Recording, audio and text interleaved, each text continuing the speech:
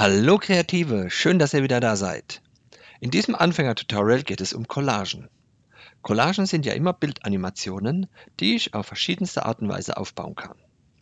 Magix Deluxe bietet hier schon eine ganze Reihe von Vorlagen, die wir uns als erstes einmal anschauen. Wir gehen hierzu in die Vorlagen, gehen auf Design-Elemente und wählen hier den Bereich Collagen Basics. Ja, hier in diesem Bereich sehen wir nun Viele Kacheln mit unterschiedlichen Informationen. Die große Zahl zeigt mir immer an, wie viele Bilder ich in dieser Vorlage verarbeiten kann.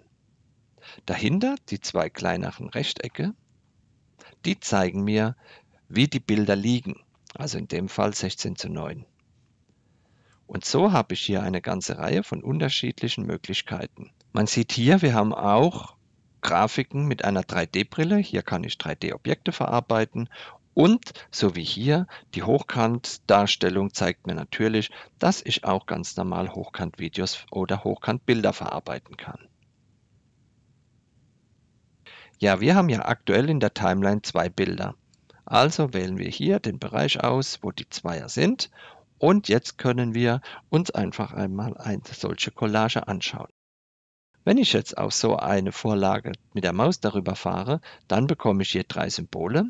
Das mittlere, damit kann ich, wenn ich das antippe, mir die Collage einmal anschauen. Wenn mir diese gefällt, kann ich mit der linken Schaltfläche diese auf meine Collage übertragen. So, nun haben wir die Möglichkeit, uns diese Collage auch mit unseren eigenen Bildern anzusehen.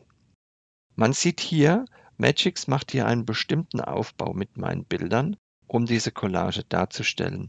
Daher empfiehlt es sich immer, Collagen entweder zu Beginn eines Videos oder entsprechend in einem Extrafilm zu machen.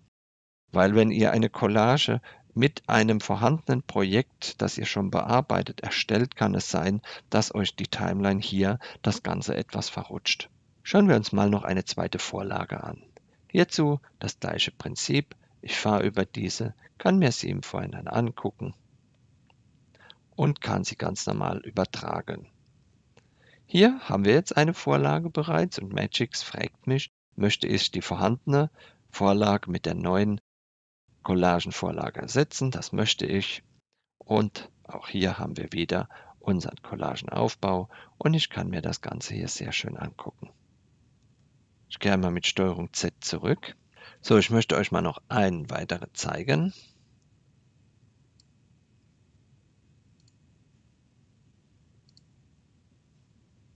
Und mit dieser haben wir auch einen interessanten Bildaufbau, der beide Bilder gleichwertig zeigt. Und das ist natürlich auch eine coole Möglichkeit, um die Bilder jetzt nicht nur in groß und klein, sondern beide dann auch in groß zu sehen. Ja, wie ihr seht, gibt es ja hier eine große Auswahl an Vorlagen für die Collagen. Schaut euch hier gerne einmal um. Es gibt hier, wie gesagt, eine ganze Menge. Okay, wir wechseln einmal.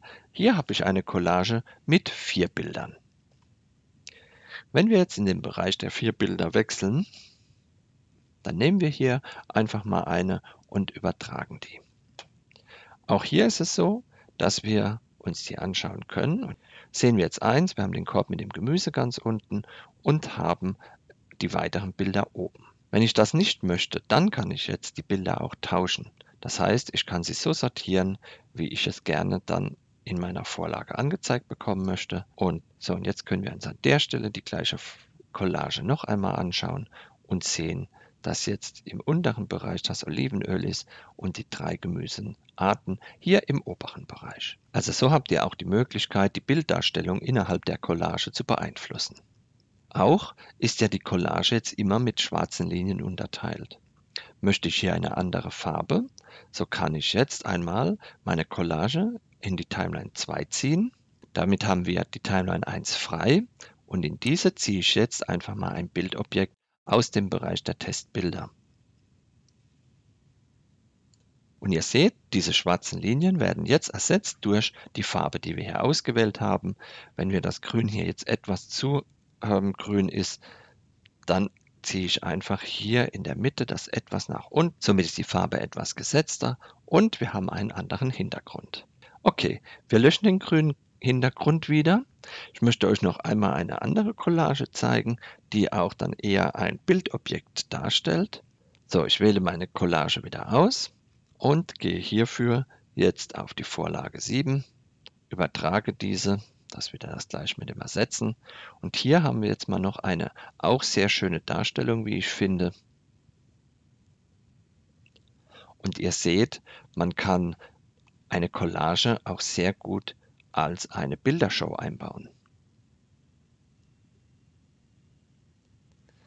Also, so wie wir jetzt gesehen haben, Collagen eignen sich zum einen einmal, wenn ich viele Bilder habe und möchte die in meinem Video schön darstellen, dann kann ich so eine Collage nehmen, wo ich viele Bilder auf einmal habe. Oder ich möchte eine schöne Bildershow darstellen und dann kann ich das, wie man hier sieht, auch mit den Collagen entsprechend sehr gut darstellen. Ja, das war mein erster Überblick über die Collagen. Schreibt mir doch gerne einmal in die Kommentare, wie euch das Ganze gefallen hat und ob ihr euch mehr zu diesem Thema wünscht. Ansonsten, ich bin draußen aus, freue mich natürlich über einen Daumen hoch und ein Abo und bis zum nächsten Mal.